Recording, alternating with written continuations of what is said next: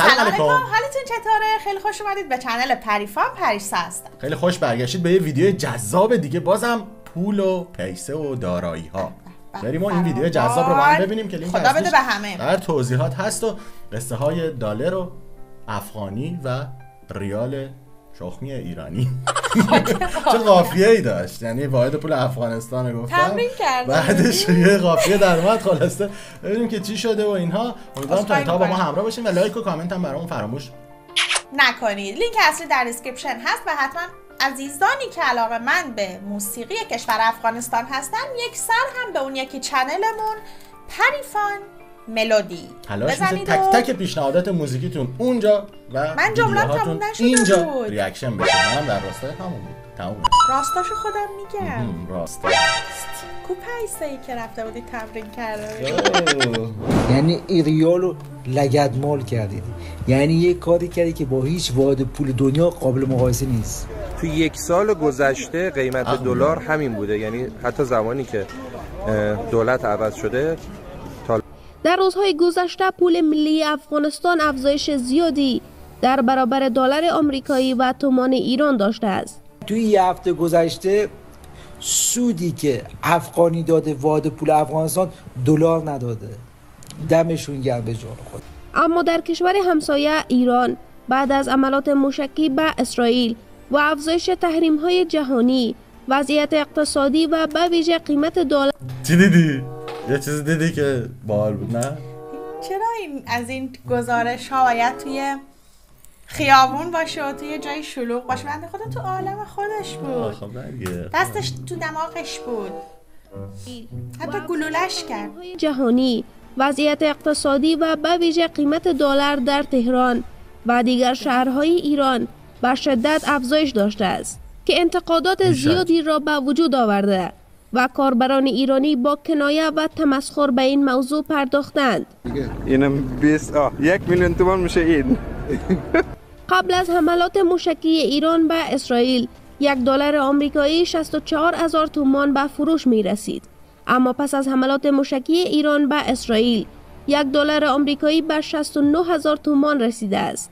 اما پس از سقوط نظام جمهوریت و روی کار آمدن امارت اسلامی ارزش پول افغانستان کاهش نداشته که هیچ بلکه ارزش آن در برابر دلار افزایش هم داشته است. و در سالهای گذشته یک میلیون تومان ایران برابر با 1500 یا 2000 افغانی بود. اما در حال حاضر یک میلیون تومان ایران 940 افغانی ارزش دارد.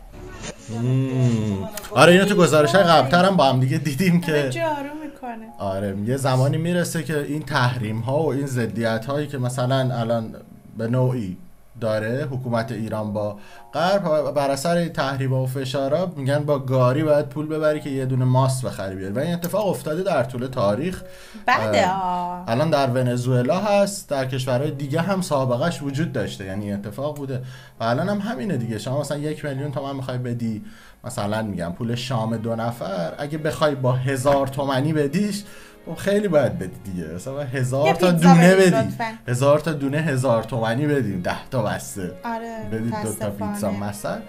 و از این بابت آره خوندیم و شنیدیم. اما اینکه حکومت اسلامی افغانستان چجوری تونسته این کار رو هم بکنه دلایلش رو من توی دو تا ویدیو بعد از اون ویدیو هم در واقع دوستان فرستاده بودن دیدیم که هنوز رشد اقتصادی بایدیه تو افغانستان اتفاق نیفتاده. و این جالبه که اینقدر عجیبه که در واقع ارزشش هم وایستاده هم بالاتر هم رفته در مقابل.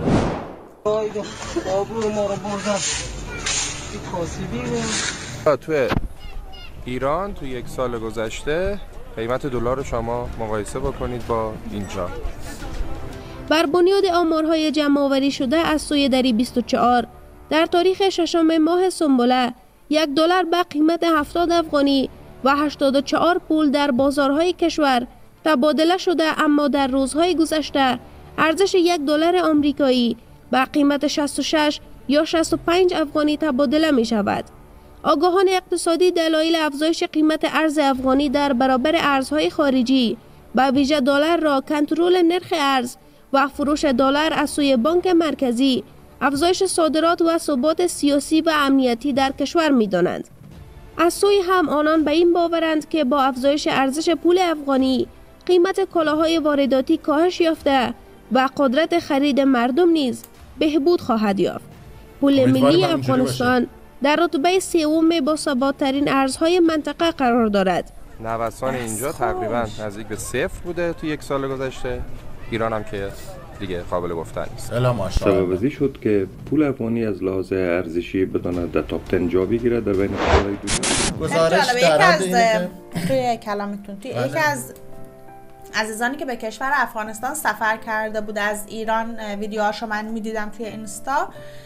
صحبتش همین بود که چقدر گرون افغانستان. آها. ولی می‌دونیم که نمیصرفه مثلا دیگه از ایران بخوای بری آره، اونجا خرج کنی؟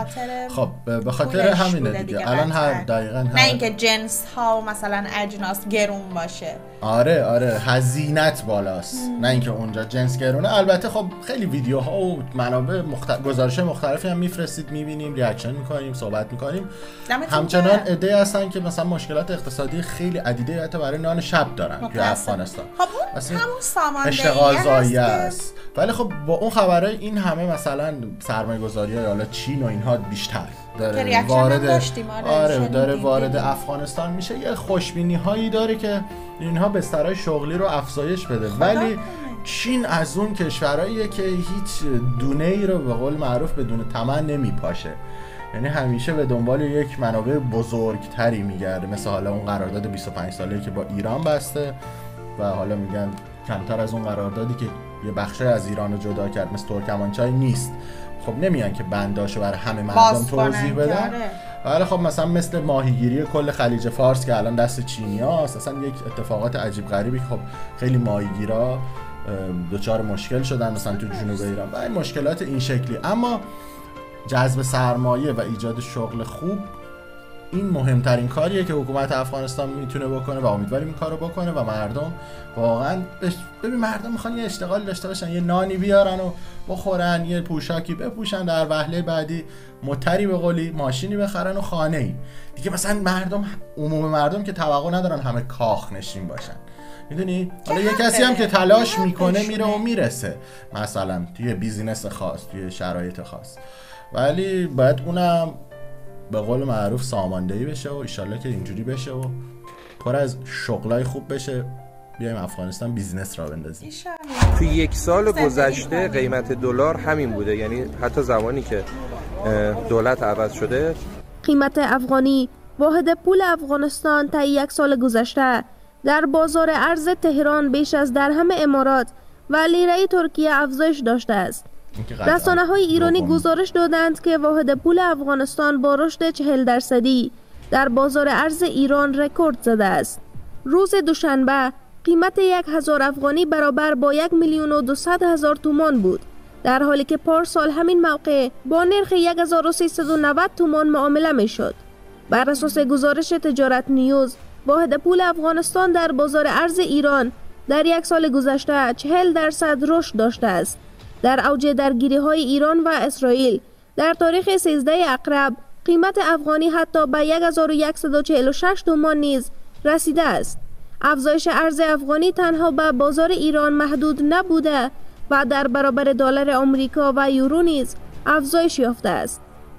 کارشناسان اقتصادی کاهش نقدینگی و کمک های مالی بین المللی به افغانستان را از دلایل حفظ ارزش پول افغانی می دانند.